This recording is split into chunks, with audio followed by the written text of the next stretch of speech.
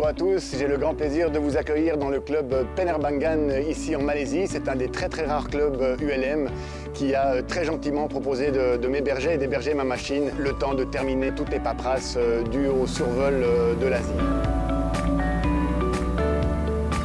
Les dernières nouvelles sont que l'autorisation de survol de l'Indonésie a été annulée par l'Air Force et comme j'en ai fait l'expérience au Sud-Soudan l'année dernière, quand le gouvernement dit quelque chose, plie-toi à ce qu'ils disent, c'est vachement plus sûr pour tout le monde.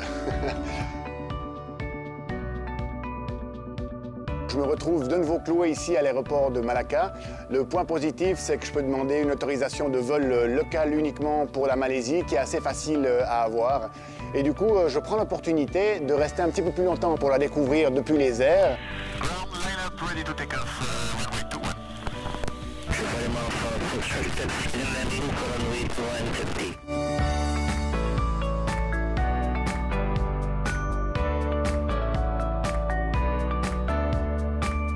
C'est vrai que cette saison 2, elle est vraiment à l'arrache dans tous les sens, hein. autant au niveau de l'arrivée de la machine, autant au niveau de la maintenance,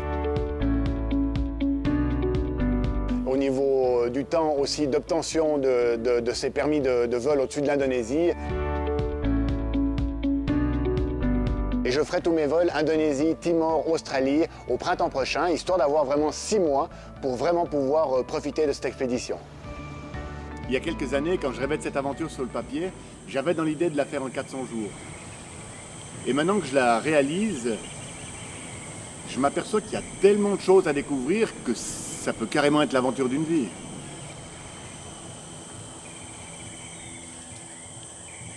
On dit souvent que l'aventure et le voyage sont les plus belles expériences de vie. Eh bien, je suis euh, assez d'accord.